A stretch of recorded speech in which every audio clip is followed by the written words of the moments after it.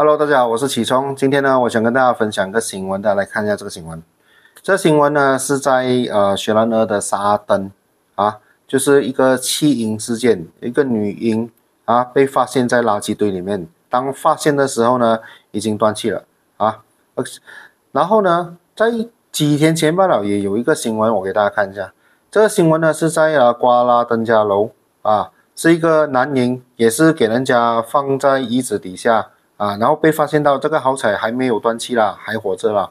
OK，所以单单是这两三天罢了啦，就有这两单弃婴事件，我看到了哈。其实这只是上报纸的冰山一角啦，在马来西亚的弃婴事件其实是每天都有发生，在每一个角落都是有的啊。只是现在我们看到上报纸的是两单哦，还有更多单还没有上报纸，我们不知道。OK，为什么会有弃婴呢？OK。其实有很多的原因，在马来西亚来说呢，弃婴最大的可能会发生的呢，就是呢，呃，青少年太年轻出场进国那种，啊，就是太过年轻，还在中学时期不小心做了爸爸妈妈的那种，啊，那种呢，当生下孩子的时候，啊，可能连自己的父母都不知道。孩子怀孕哦啊，然后生下了孩子，那个孩子不知道要怎样处理啊，小孩子呢啊根本什么都不会的嘛啊，不知道要怎样处理，然后啊一慌一下呢就想着哎这麻烦丢掉就算了啊啊就这样就有弃婴的事件发生哦。不过呢，我想说的是呢，这样的情况呢其实是非常的可惜，那是一条人命，而且那不只是条人命，都说儿童是国家未来的主人翁。啊，这个婴儿呢，也许如果他可以好好的长大的话，可能以后呢是一个很好的人才啊，可以做成一个伟人，谁知道是不是？但是呢，你不给他长大的机会，他就这样就扼杀在摇篮里面了。OK，好，所以我讲可惜是这样啦。通常最主要原因就是呃太年轻出场进国那种了。OK，OK，然后还有第二类。第二类呢，也是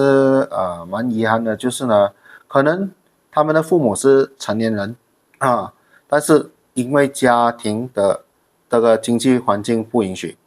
太穷了。简单说一句，就是太穷，孩子太多养不起，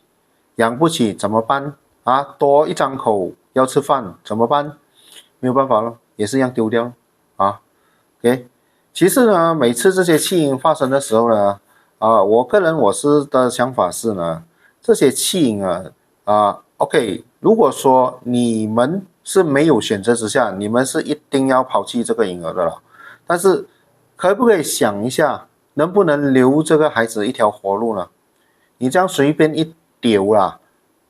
你不能确保有好心人会在及时捡到他咯。啊，就好像我刚才分享的那两个新闻啊，一个在沙登呢救不回。一个在瓜登呢，刚好命大救得回，啊，那个沙登呢就比较倒霉一点咯，就救不回了咯。所以呢，我是觉得呢，OK，弃婴也许是走投无路之下的选择，但是能不能有另外一个选择，可以让这个婴儿有一条活路呢？啊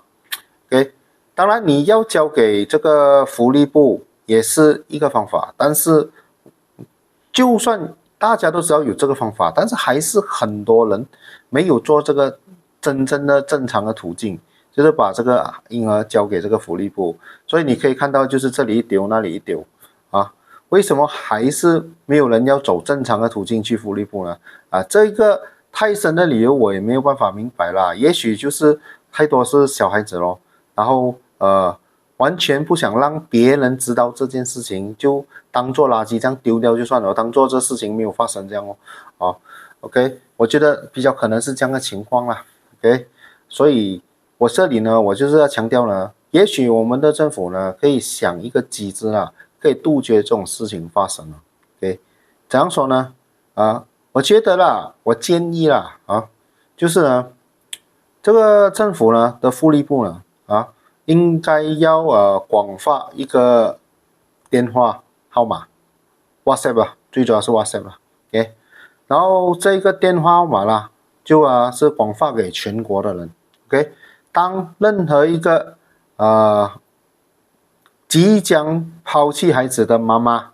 啊，她是没有选择之下啦，我不包贬义啦，OK，不包没有选择之下啦，啊，然后她已经不知道有什么方法了哈，甚至可能考虑就要随地一丢的那种啊。这种时候呢，如果他手上有一个这个电话，他可以 WhatsApp 去这个电话，OK，然后这个电话那边的接头人呢，啊，就会回应他，OK，你告诉我这个时间、日期、地点，啊，我派一个人去跟你接手这个东西，OK，然后呢，全程保密，啊，我知道你。你这个妈妈呢？你要的东西无非是保密罢了，OK，全程保密没有问题，啊，然后呢，就会有一个人，也不会拉一大堆人来跟你接头，就是一个人跟你接头就好了，一个人约好一个时间地点，就跟你把那个婴儿接过来，然后呢，啊，留下你一些资料，虽然还是保密，但是还是要留下你一些资料，因为呢，之后这个孩子如果要有领养程序的话呢，还是需要你的资料，但是绝对保密。啊，即便你的亲生父母也未必会知道这件事情，啊，最重要的、最重要，我要强调的就是呢，要确保整个过程那个婴儿的命可以保下来，啊，然后呢，这个福利部呢，就派一个人去把这个孩子接过来，然后再由福利部来处理这个小孩，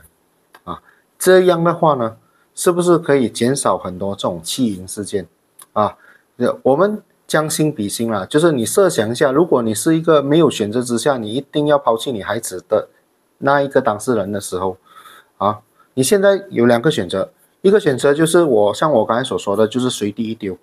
第二个选择就是你现在有一个电话号码，你打给他，他会派一个人来跟你秘密的接走那个小孩子，